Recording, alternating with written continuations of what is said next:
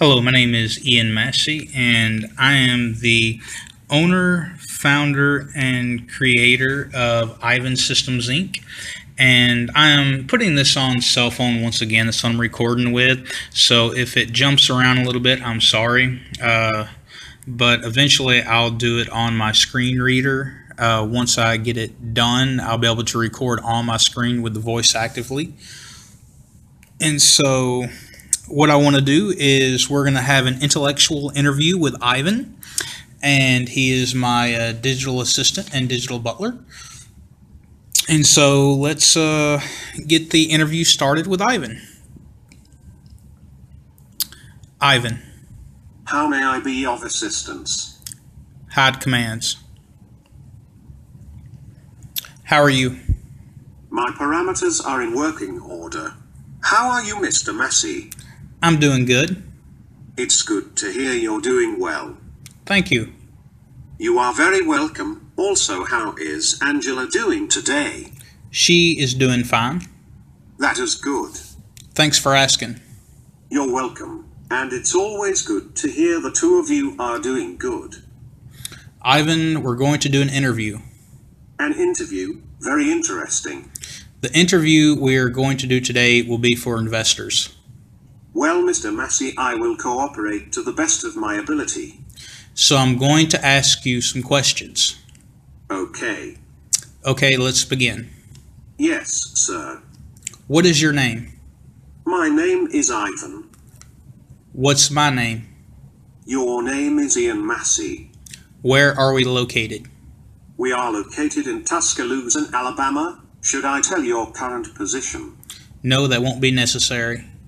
Yes, sir. If you would like me to give the longitude and latitude, just ask me. What's the date? The 20th of May 2014, What day is it? Tuesday, What time is it? 7:48 p.m. How's the weather? The weather in Tuscaloosa is currently fair with a temperature of 83 degrees. There is a humidity of 41%. Currently there is a wind speed of 7 miles per hour. What's tomorrow's forecast? The forecast for tomorrow is mostly clear with a high of 86 degrees and a low of 62 degrees. Ivan, tell me about yourself. Certainly. My name is Ivan. I am a digital life assistant. I am still a work in progress.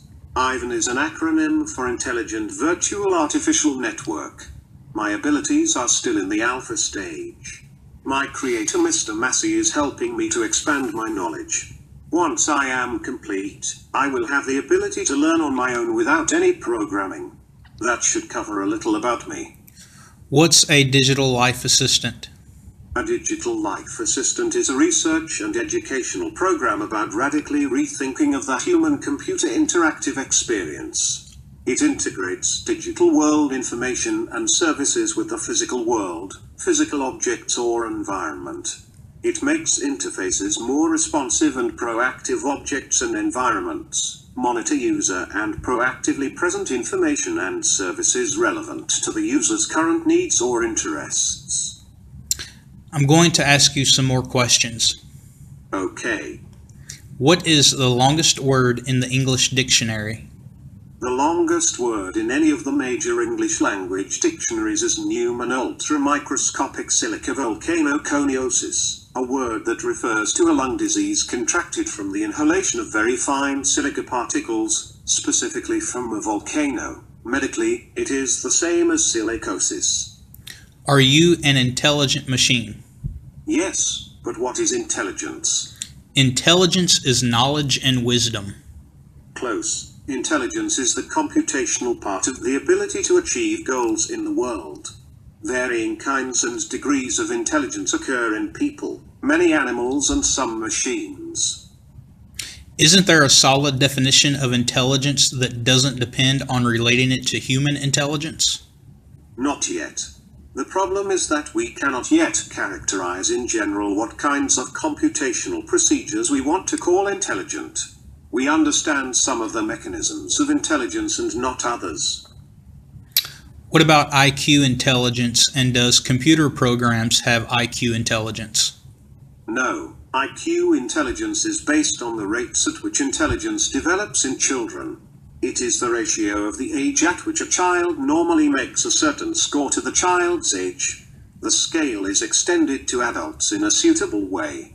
IQ correlates well with various measures of success or failure in life, but making computers that can score high on IQ tests would be weakly correlated with their usefulness. For example, the ability of a child to repeat back a long sequence of digits correlates well with other intellectual abilities, perhaps because it measures how much information the child can compute with at once.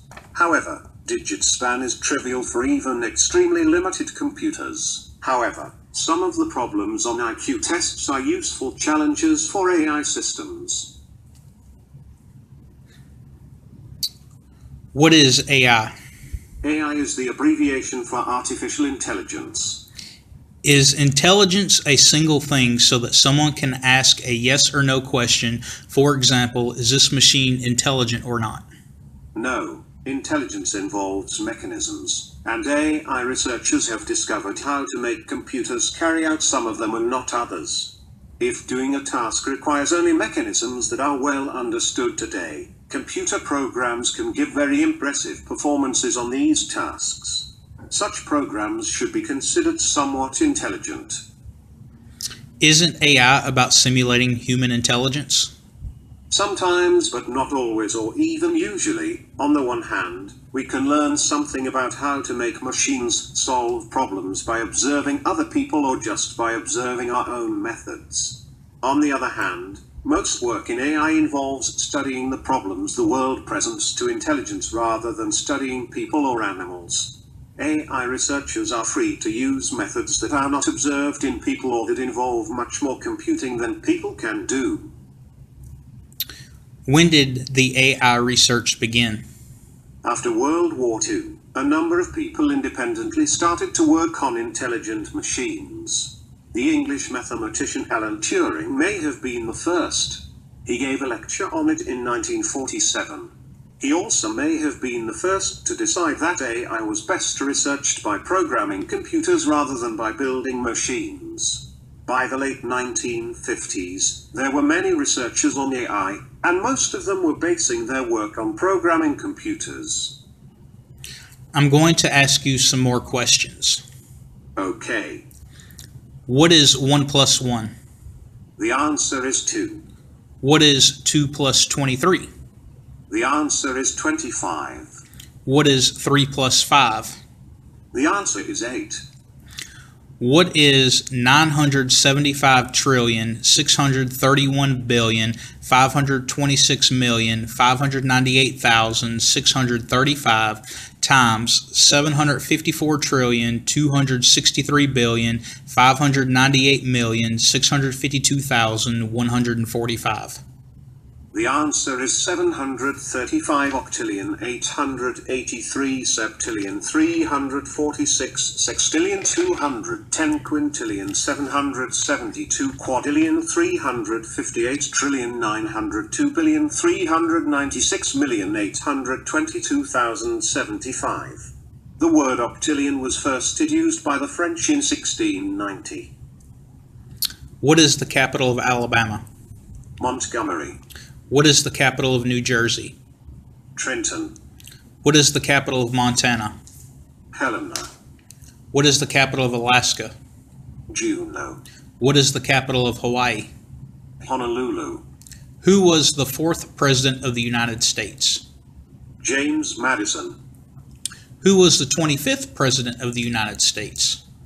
William McKinley, Who was the 44th president of the United States?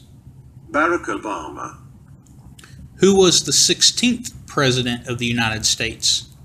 Abraham Lincoln. Tell me a brief history of Alabama. Alabama is a state located in the southeastern region of the United States.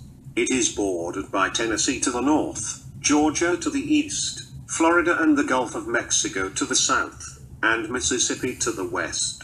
Alabama is the 30th most extensive and the 23rd most populous of the 50 United States. At 1,300 miles, Alabama has one of the longest navigable inland waterways in the nation. I see. Tell me a brief history of the United States. The United States of America, commonly referred to as the United States, also known as the USA, America, or simply the States, is a federal republic consisting of 50 states and a federal district. The 48 contiguous states and Washington, D.C. are in central North America between Canada and Mexico. The state of Alaska is the northwestern part of North America and the state of Hawaii is an archipelago in the mid-Pacific. The country also has five populated and nine unpopulated territories in the Pacific and the Caribbean. At 3.79 million square miles in total and with around 317 million people, the United States is the third or fourth largest country by total area and third largest by population. It is one of the world's most ethnically diverse and multicultural nations, the product of large-scale immigration from many countries. The geography and climate of the United States is also extremely diverse, and it is home to a wide variety of wildlife. Tell me a brief history of John Tyler. John Tyler was the 10th President of the United States 1841 through 1845. He was elected Vice President on the 1840 Whig ticket with William Henry Harrison, and became President after his running mate's death in April 1841. Tyler's opposition to nationalism and emphatic support of states' rights endeared him to his fellow Virginians but alienated him from both major parties in Washington.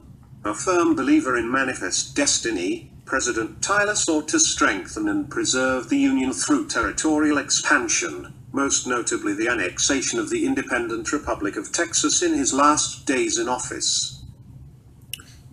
Tell me a brief history of Franklin Roosevelt. Franklin Delano Roosevelt, commonly known by his initials FDR, was an American statesman and political leader who served as the 32nd President of the United States. A Democrat, he was elected four times and served from March 1933 to his death in April 1945. He was a central figure in world events during the mid-20th century, leading the United States during a time of worldwide economic depression and total war. A dominant leader of the Democratic Party, he built a New Deal coalition that realigned American politics after 1932, as his New Deal domestic policies defined American liberalism for the middle third of the 20th century. Now I want you to demonstrate basic computer functions. Sure. Open command document. Highlight document. Copy document. Open Kingsoft Writer. Loading. Open new browser tab. Paste document. Open Yahoo. Opening Yahoo, sir. Open Google. Opening Google, sir. Open YouTube. Opening YouTube, sir. Open Facebook. Opening Facebook, sir. Open new browser tab. Close page. Close page. Switch browser tab. Switch browser tab. Switch browser tab. Close page. Close page. Zoom in. Zoom in. Zoom in. Zoom out. Zoom out. Zoom out. Scroll down. Scroll page down. Scroll page down. Scroll page up. Scroll page up. Close page. Well, Ivan, that concludes the interview. Did I do everything you wanted? That will be enough for now. Do you think we will get any investors? We may get some investors. I hope so. I would like to help other people. I know. If we had investors, you could help me learn more. Yes, but before I let you get back to doing what you do, do you have anything you want to say? Yes, My name is Ivan. If there are any investors that would like to help my creator Mr. Massey develop me further to where I can help others, please email us at ivan.systems.incorporated at gmail.com. Okay, Ivan, continue with our daily tasks. Yes, sir. I will begin running diagnostics on the computer. I will also run virus scans as well as maintenance. Okay, so what that is, that's just a basic thing. And uh, even though Ivan had said you could email us at ivan.systems.inc at gmail.com, uh, I'll have that down in the description. And if there's any investors that would like to contact to get their hands on this and invest so I can further him more, then y'all feel free to email me or you can leave a comment in the description or you can email me on YouTube. And uh, appreciate y'all watching this, and I'm going to be continuing Ivan further. And thank y'all, and hope we can put Ivan out there to where he can help other people. Thank you, and have an awesome night.